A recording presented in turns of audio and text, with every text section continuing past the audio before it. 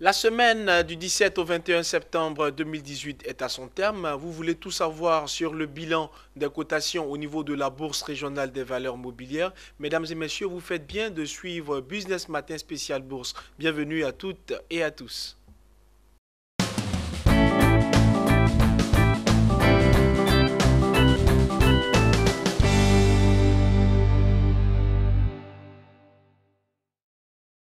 Pour mieux vous édifier sur la question, je ne suis pas seul sur ce plateau. Je suis en compagnie de Lodamas, notre consultant maison. Bonjour Lodamas. Bonjour Daniel. Et c'est toujours un plaisir de vous recevoir sur le plateau. Le plaisir est partagé. Alors Lodamas, il est spécialiste des marchés financiers et c'est avec lui que nous allons parcourir le bilan des cotations hebdomadaires. Alors Lodamas, de quoi il s'agit quand on parle des performances des indices principaux de la BRVM cette semaine? Alors s'agissant des indices principaux, il faut noter que le BRVM 10 est passé de 186,62 à 184,14 points, soit une baisse hebdomadaire de 1,33%. Le BRVM Composite a clôturé à 193,59 points, soit une chute hebdomadaire de 1,49%. On poursuit avec les indices sectoriels. D'accord? Donc en ce qui concerne les indices sectoriels, il faut retenir que le BRVM Industrie a régressé de 2,14%, le BRVM Service Public a baissé de 1,52%, le BRVM Finance a observé un repli hebdomadaire de 1,90%, le BRVM Transport s'est maintenu à 701,82 points. Le BRVM Agriculture a fait preuve d'une hausse hebdomadaire de 0,43%. Le BRVM Distribution a enregistré une régression de 0,13% et le BRVM Haute Secteur est resté stable à 351,66 points. Quelles sont les plus fortes hausses de la semaine? Alors, la plus importante progression du marché des actions a été notée sur le titre CIE Côte d'Ivoire qui est passé de 1580 à 1690 francs CFA, soit une hausse hebdomadaire de 6,96%. Le titre SAPH Côte d'Ivoire a clôturé son parcours en brandissant une cotation de 3000 francs CFA, soit une progression hebdomadaire de 6,19%. La valeur CFA Motors Côte d'Ivoire est passée de 580 à 600 francs CFA, soit une amélioration hebdomadaire de 3,45%. Et on termine avec le titre Sodeci qui est passé de 3605 à 3700 francs CFA, soit une variation hebdomadaire de 2,64%. Alors qui parle de plus forte hausse de la semaine parle également de plus forte baisse de la semaine. De quoi il s'agit? D'accord. Donc s'agissant de la plus importante chute de la semaine, nous mentionnons tout de suite euh, le titre Filtisac Côte d'Ivoire qui a clôturé à 2295 francs CFA, soit une baisse hebdomadaire de 8,20%. La valeur BOA Niger a terminé son parcours en brandissant une cotation de 3700 francs CFA, soit une chute hebdomadaire de 6,09%. Le titre SMB Côte d'Ivoire est passé de 18 040 à 17 000 francs CFA, soit une régression hebdomadaire de 5,76%. Et la valeur bancaire BCC est passé de 4550 à 4300 francs CFA, ce qui représente un repli hebdomadaire de 5,49%. Alors, l'Odamas, il y a certainement des valeurs à surveiller cette semaine. Quelles sont-elles? Alors cette semaine, nous allons essentiellement commenter la valeur NCA Bank Côte d'Ivoire qui a enregistré une baisse hebdomadaire. Expliquez-nous. Alors, donc en ce qui concerne euh, cette valeur bancaire, il faut savoir que relativement à la semaine boursière écoulée, le titre NCA Banque Côte d'Ivoire est passé de 7600 à 7450 francs CFA, soit une baisse hebdomadaire de 1,97%. Mhm.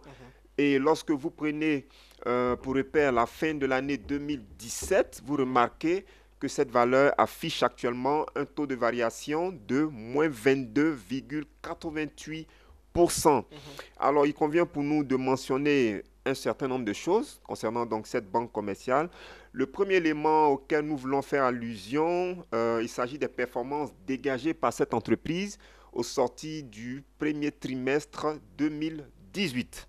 Est-ce qu'on peut avoir un peu de détails sur ces performances en question? D'accord. Donc, à fin mars 2018, la banque euh, NCA Banque Côte d'Ivoire a terminé euh, donc, euh, ce premier trimestre avec un produit net bancaire en amélioration de 8%. Et le produit net bancaire a donc été évalué à 17,511 milliards de francs CFA. Le résultat avant impôt s'est amélioré de 26% pour se retrouver à 6,5 milliards de francs CFA. Et le résultat net euh, a fortement progressé de 26,8% pour s'afficher à 5,363 milliards de francs CFA. Et lorsque vous observez de très près le, les crédits accordés euh, par cette banque à sa clientèle, on observe donc euh, que ce niveau de crédit a progressé de 4% pour se retrouver à 632,7 milliards de francs CFA. Donc en clair, euh, la banque commerciale NCA Bank Côte d'Ivoire a, on a envie de dire, hein, elle a très bien terminé le premier trimestre, 2018. OK? Et au cours de, de cet exercice 2018, mhm. la banque a distribué des dividendes à ses, à ses actionnaires mhm. relativement à l'exercice 2017. Et en termes de dividendes nets par action, euh, les dirigeants de NCA Banque Côte d'Ivoire ont octroyé aux actionnaires de cette banque un montant de 466,10 francs CFA par action, donc à chaque actionnaire. Et lorsque vous faites le calcul, lorsque vous voulez déterminer le taux de rendement net, après le calcul donc, en prenant pour repère la date, euh, du, euh, la date du vendredi dernier, vous remarquez que euh, le titre NCA Banque Côte d'Ivoire affiche actuellement un taux de rendement net de 6,26%, ce qui est un taux vraiment intéressant pour ceux qui veulent mettre en place une stratégie d'épargne mhm. à partir donc du titre NCA Banque Côte d'Ivoire. Alors Daniel, au-delà du taux de rendement net, il nous paraît vraiment important de relever un fait. En fait, euh, l'agence de notation Bloomfield, au sorti d'une mission de notation financière datant du mois de juin 2018, cette mhm. agence de notation a donc euh, attribué la note A+ à, NCA Banque Côte d'Ivoire, ok, avec une perspective stable, vous comprenez, ce qui est une information très intéressante. Et les analyses financiers de Bloomfield ont répertorié un certain nombre de points. Euh, ils ont énuméré des points forts relativement à NCA Banque Côte d'Ivoire et ils ont également fait cas de certains points faibles. D'accord. OK? Donc, on va commencer avec les points forts. Points forts, bien sûr. Donc, en termes de points forts, les analyses financiers de Bloomfield ont fait cas du fait que, euh, en fait, ils ont observé une progression des fonds, des, fonds propres de l'entreprise, ce qui est une information très intéressante. Bloomfield a également fait cas de, de, la bonne flexibilité financière observée au niveau de NCA Banque Côte d'Ivoire. Bloomfield estime que l'activité de crédit développée par NCA Banque Côte d'Ivoire est une activité vraiment dynamique. Okay, donc le dynamisme au niveau du crédit a été relevé par cette banque. Et Bloomfield a fait cas du fait que NCA Bank mhm. est en train de prendre une certaine ascension au niveau sous-régional. Donc NCA étant ses tentacules, mhm. NCA a repris la banque Diamond Bank SA. Ce qui est une information très intéressante parce que cela va permettre à NCA Côte d'Ivoire d'élargir son réseau bancaire. Mhm. Vous comprenez? Bloomfield a également fait cas de la baisse du coût du risque. ok? Et cette baisse-là est marquée par un bon niveau en termes de recouvrement. Vous comprenez? Et le fait que NCA a procédé depuis un certain moment à une réorganisation en interne, Bloomfield a trouvé cela très intéressant parce que cette réorganisation va déboucher sur une redynamisation totale des équipes de NCA Bank Côte d'Ivoire. Parlant des points faibles, Daniel, en termes de points faibles, Bloomfield estime euh, qu'il existe une sorte de dégradation de la qualité du portefeuille de NCA Bank Côte d'Ivoire. Bloomfield a également fait cas d'une contre-performance de certaines opérations Bloomfield a mis l'accent sur le fait que l'économie cacaoyère ivoirienne a été quelque peu perturbée en 2017 mhm. et cela a eu des répercussions négatives sur NCA Bank Côte mhm. d'Ivoire. Et Bloomfield euh, mentionne aussi le fait que l'environnement bancaire euh, ivoirien, euh, je veux dire, fait preuve d'une concurrence vraiment intense, mhm. ok, et que cet environnement bancaire est également en pleine mutation. D'accord Donc voici un peu quelques points faibles relevés par cette agence de notation. On va, on va laisser de côté les observations qui ont été faites par les analyses de Bloomfield pour relever encore une information importante. En fait, le confrère Jeune Afrique a mentionné le fait que la banque NCA, euh, NCA Banque Côte d'Ivoire, serait exposée à hauteur de plus de 28 milliards de francs CFA dans le dossier SAF Cacao. De quoi s'agit-il concrètement? SAF Cacao est un opérateur, est un négociant euh, opérant dans, le, dans la filière cacao en Côte d'Ivoire. Et SAF Cacao fait partie des pratiquement des trois premiers opérateurs au niveau de la filière cacao, au mhm. niveau de la Côte d'Ivoire. Et SAF Cacao est actuellement en liquidation et cette entreprise doit beaucoup d'argent à certaines banques. Et selon le périodique Jeune Afrique, euh, NCA Bank Côte d'Ivoire serait exposé à cette crise entre griffes à hauteur de 28,5 milliards de francs CFA. C'est une information qui reste à vérifier, mais toujours est-il que dans les milieux économiques actuellement, cette information circule. Alors, on va terminer avec le BOC. Quand on analyse les quantités résiduelles à la date du 21 septembre 2018, mhm. on constate au niveau de la ligne NCA Banque Côte d'Ivoire la présence de 85 titres NCA Banque Côte d'Ivoire, bien sûr, à la vente au prix du marché. De façon simplifiée, il faut comprendre par là que certains investisseurs sont déjà prêts à céder les titres NCA Banque Côte d'Ivoire au prix du marché. Et donc, lorsque nous regardons toutes ces choses, nous pensons qu'il existe actuellement une forte probabilité de baisse mhm. du titre NCA Banque Côte d'Ivoire à la reprise des cotations. Et nous exhortons, nous encourageons les dirigeants de NCA Côte d'Ivoire à plutôt mettre l'accent sur une publication très rapide de mhm. leurs états financiers du premier semestre 2018. Si ces états financiers sont bons, le marché pourra pourra éventuellement accueillir cela comme une bonne nouvelle. Et il est fort probable aussi qu'on constate un redressement de la tendance sur euh, la tendance boursière, donc sur la valeur NCA Banque Côte d'Ivoire. Mais est-ce que les dirigeants de NCA vont rapidement rendre public ces états financiers? C'est ce que nous espérons vivement. Alors, permettez que je revienne un peu en arrière. Vous parliez tantôt des, des points faibles. Oui. Des points faibles mentionnés par, par l'agence Bloomfield. Bloomfield. Oui. Je veux savoir, en tant que spécialiste, vous, oui. Damas, en tant que spécialiste des marchés financiers, quelles solutions pouvez-vous apporter face à ces points faibles? Non, en fait, on ne dira pas quelle solution on peut apporter. C'est juste euh, une observation qui a été faite. J'explique un peu, j'explique rapidement.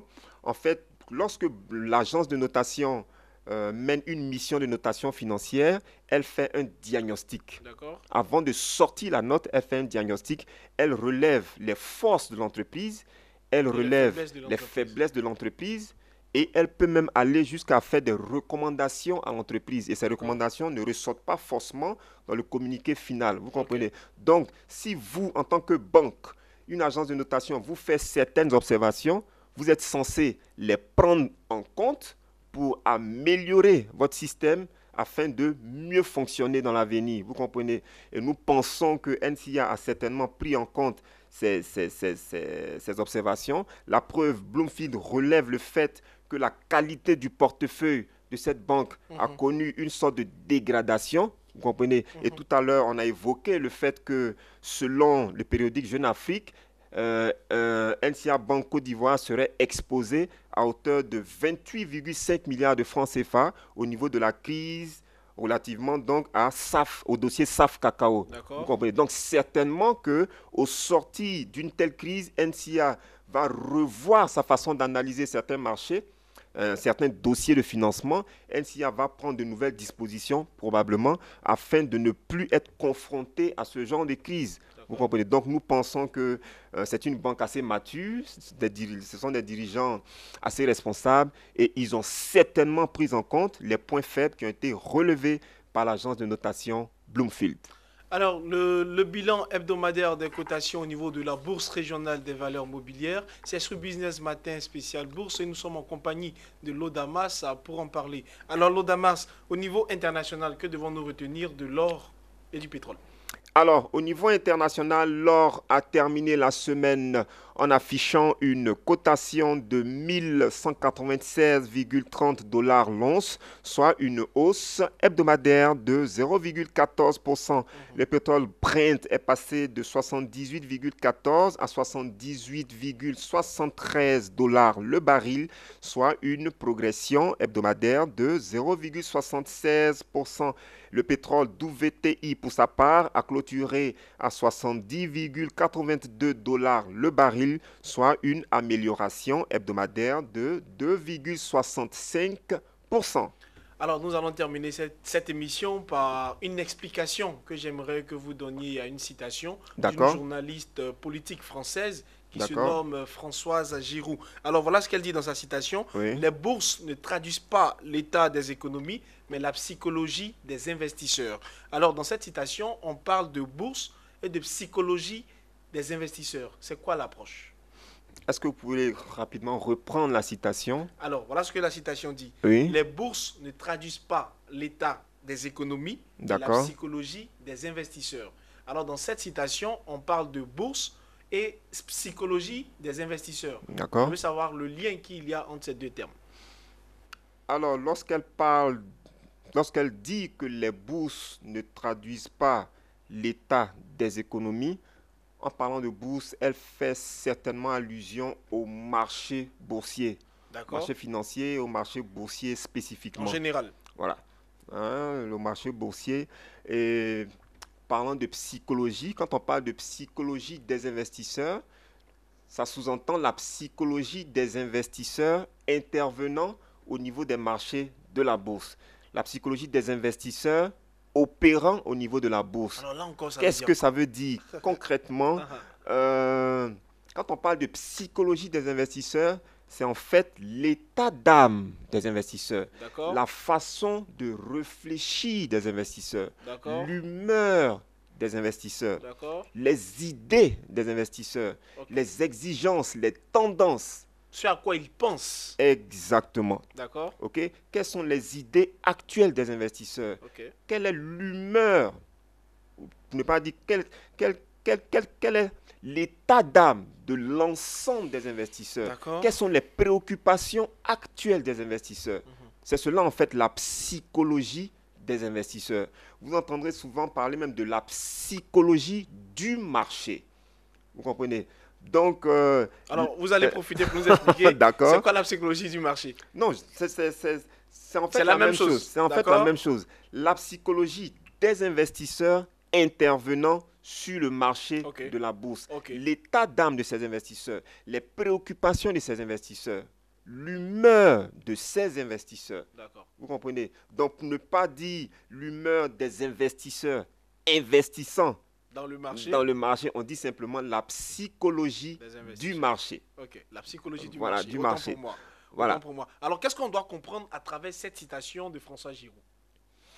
Alors, lorsqu'elle dit que les bourses ne traduisent pas l'état des économies, mais la psychologie des investisseurs, bon, euh, quand on essaie de décortiquer cette affirmation, on se rend compte que cette dame estime que les résultats affichés par la bourse mhm. ne traduisent pas forcément, enfin ne sont pas forcément issus de l'économie, c'est-à-dire de la de, euh, comment on dit ça, de la, euh, de la performance macroéconomique du pays. En fait. Donc elle veut dire par là que les performances dégagées par les marchés financiers ne sont pas forcément issues de la performance de l'économie mhm. nationale. Mhm. Mais les performances dégagées par les marchés financiers ne sont dues simplement au fait que certains investisseurs ont eu certaines appréhensions, certains investisseurs ont leur façon de voir l'évolution du marché et ce sont les, comment dire, euh, l'état comment dire, ce sont les pensées de ces investisseurs, ce sont les initiatives prises par ces investisseurs qui se sont affichées au niveau de la bourse.